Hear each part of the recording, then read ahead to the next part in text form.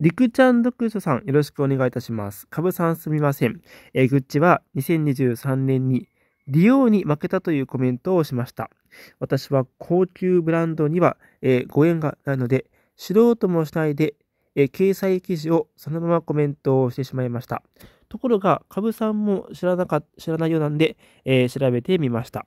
えーするとなんと、ディオってフランスのファッションデザイナー、えー創業者、クリスチャン・ディオールだったんですね。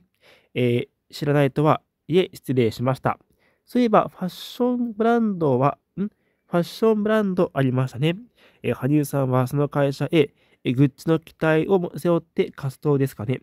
頑張れ、羽生。しかし、グッチ。えー簡単には買えないよね。あ、買えないよな。うん。ということですね。確かに金額が一気にガンと上がっちゃいますからね。あの、やっぱりこう、羽生くんとグッチということで、羽生ファンの中にはグッチを買ったりする人もいるんでしょうかね。はい、あの、気になりますよ、あの、うん。ゆなさん、よろしくお願いいたします。かぶくん、こんばんは。えー昨日で、絵本ギフトの公開 PV が終わりました。えー朗読を務めた尾形恵美さんから羽生さんへの言葉です。相反するようですが、ご自分を大事にされてください。え自分が幸せではじ、幸せで初めてです。幸せになってください。えーそこからお裾分けくださいと願ってしまうファンです。わがままかもしれません。自分を、えー大切に心から笑顔あふれる演技を楽しみにしていますと、温かいコメントが挙げられていました。とても素敵ですね。うん。跡部陽子さんどうもです。かぶくんこんにちは。グッチなかなか買えないハイブランドですよ。えそれを羽生結弦ファンだと思われたくないから、グッチ使わない、もったいないです。えもちろん、羽生結弦さんに失礼ですし、グッチにも失礼です。うーん、ちょっとこれね、昨日コメントがあったようなんですけどね、びっくりしましたね。ただ、ご本人はコメントを削除されてしまったということらしいので、ちょっと真相がわからないままなんですが、昨日なんか、揉め、揉め、てか、なんか結構怒りのコメントがいくつかあって、はい。ちょっと認識し始めてますね。ようさん、えー、よろしくお願いします。かぶくんお疲れ様です。リサ様はご自分で削除なされたようです。私への返信があったようですが、内容は伏せます。またこの先楽しく語ればよいよい。えー褒めるときは山盛りに、攻めるときは控えめに、できれば攻めずに過ごしたいと思います。えグッチに限らず、えブランドアンバサダーとは人格評価が一番の選出条件です。えー羽生結弦選手、羽生結弦君の、えこれまでの生き方、行動、言動を評価した結果の選出です。え評価すべきことは、誰が対象者であれ評価すべきだと思います。えー羽生結弦が嫌いなら、持たなければいいです。いいだけです。すべて自分が決めることですから、私はこれからも羽生結弦君の応援隊員でいます。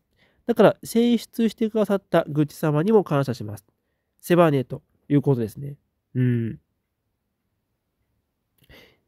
はい。そして、かぶくん、こんにちは。えーリサ松浦様のコメントは全部削除してあります。発端はこの方のコメントです。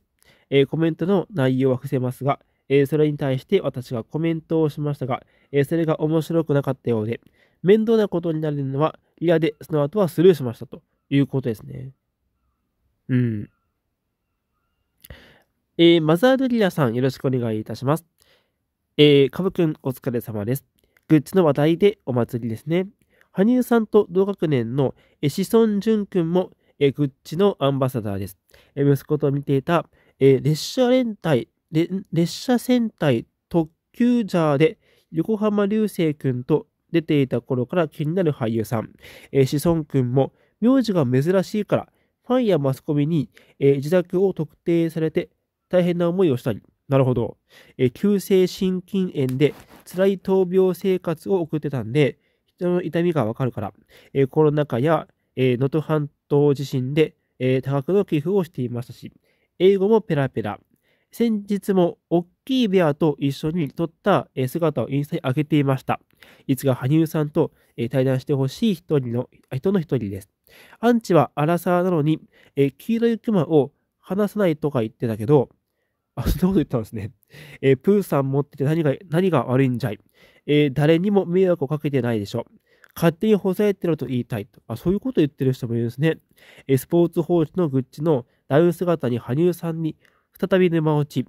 あのお写真を撮られたカメラマンの小林太斗さん、グッドジョブですということですね。はい。いいですね。子孫13という方は僕はちょっとご存知知らなかったんですけども、なるほど。そういった戦隊ものだったりとかで出てた、えー、グッズのアンバサダーということなんですね。なるほど。はい。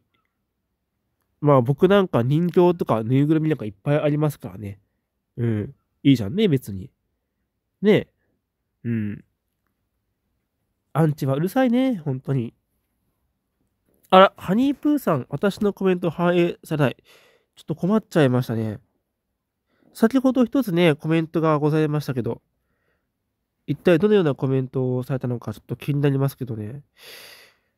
うーん。少しだけコメントが反映されていますが、私には簡単、超簡単に予約すると、あなたは嫌味、嫌いとすぐに削除したようですが、見てしまいました。あ、そういうことを書かれた、書かれてしまったというわけですね。あの、松浦様という方が、ですかね、おそらく。はい、少しだけ反映されましたね。ちょっとある方法を使いまして。かぶくん、心配かけてごめんなさい。落ち着きました。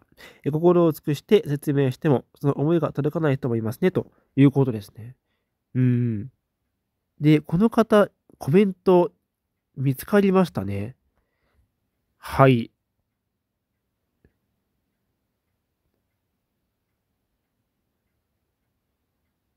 あ、グッズを持ってると羽生ファンだと思われそうだから、もうグッズを持つとやめようと書きましたという、あ、そういうことを書かれたんですね。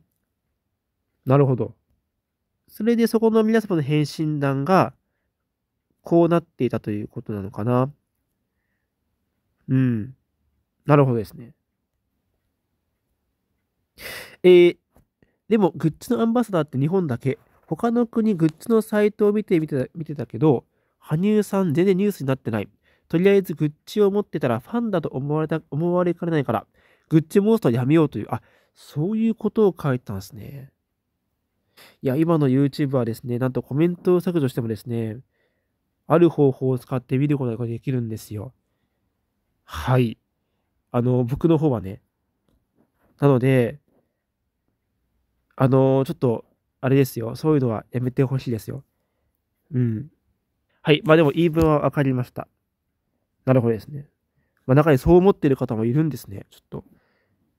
なるほど。うん。まあ気にせず行きたいけれども、ちょっと心残っちゃいますね。うん。